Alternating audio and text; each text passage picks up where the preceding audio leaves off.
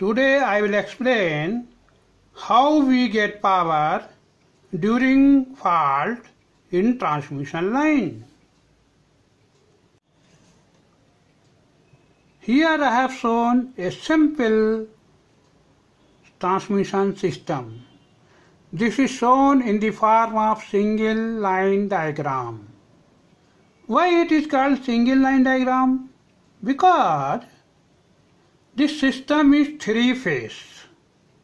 But everywhere I have shown only single line. So it is called the single line diagram. This is easy to draw. Here I have shown three line. This means this is three phase system. This is generator at the generating station. Power is generated at low voltage. This is step up transformer. So voltage is increased from low voltage to high voltage using this step up transformer. Then this is transmission line.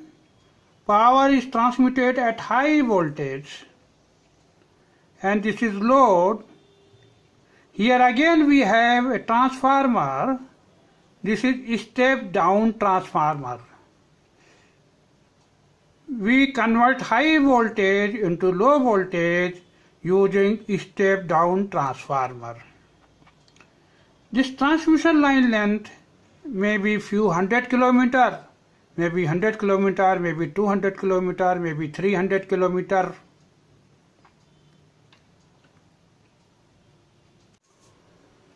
Now suppose in this line a fault happens or this wire is broken. So I will break the wire. So this is fault. There may be three phase, but fault may be in one phase only. Still power cannot be transmitted here. But still we get the power here. How we get the power, I will explain now.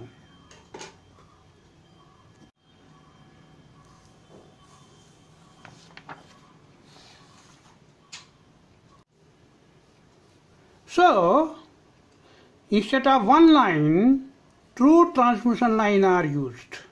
They are in parallel.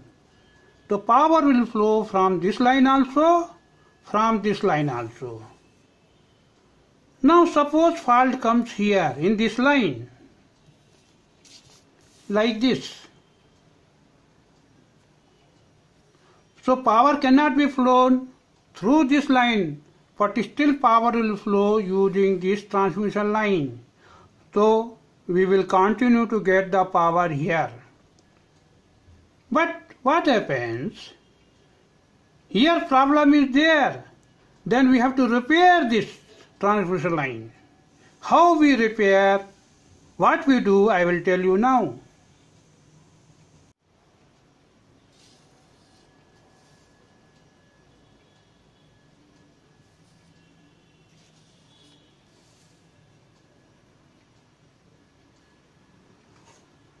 So this transmission line will have some arrangement like this at both the end. This will be here also, I have not shown.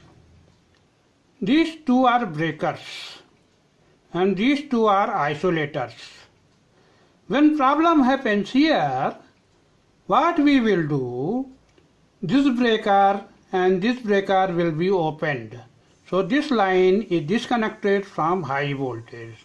Afterward, using these two isolators, we will ground this. We will close this isolator. This is earth, green color is earth. So this line and this line is grounded and isolated from high voltage. Now this line can be repaired.